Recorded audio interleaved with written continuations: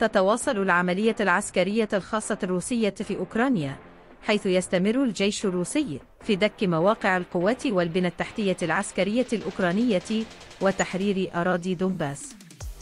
أهم الأحداث بايدن يفاخر على الهواء بكبح التضخم وقناة أمريكية تقطع البث لتقديم جرعة باردة من الواقع. زابوروجي القوات الأوكرانية تستعد للهجوم على المحطة النووية. وسائل إعلام بلدان البلقان تدعو أردوغان لبحث إمدادات الغاز مع بوتين. مجلة أمريكية أوكرانيا دولة فاشلة بشكل مزمن. الخارجية الروسية الاتحاد الأوروبي يحاول إخراج روسيا من منطقة ما وراء القوقاز.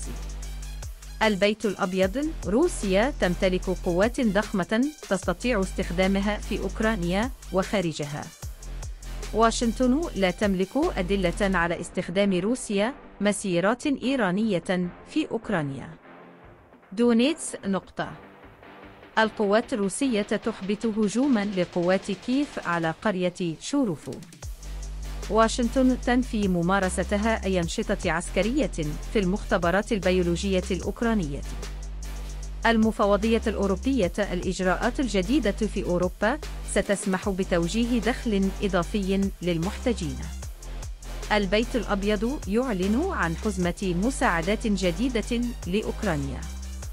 البنتاغون يؤكد استمرار الحوار مع كييف حول أنواع الأسلحة المطلوبة. القوات الفضائية الأمريكية قلقة إزاء تعزيز روسيا قدراتها الفضائية العسكرية.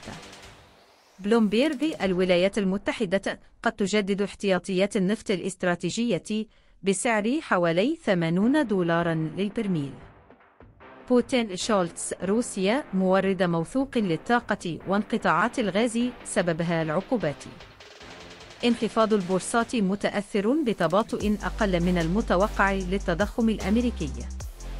كيف تعرب عن خيبة أملها في ألمانيا؟ وزير الخارجية الإيطالي حكومات أوروبية تعرقل مفاوضات سقف أسعار الغاز. خبير عسكري يوضح تداعيات منح كيف ضمانات أمنية غربية. بوتين وشولتز يبحثان الأزمة الأوكرانية في مكالمة كانت الأولى منذ ثلاث أشهر واستمرت ساعة ونصف.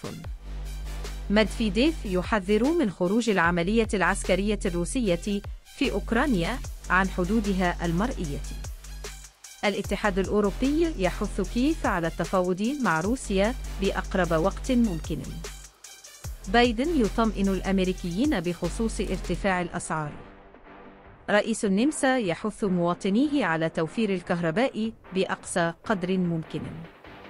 قمع خنة منبعثة من الأرض بريطانيون يتحدثون عن المذنب في الدفع بالبلاد إلى حضيض العوز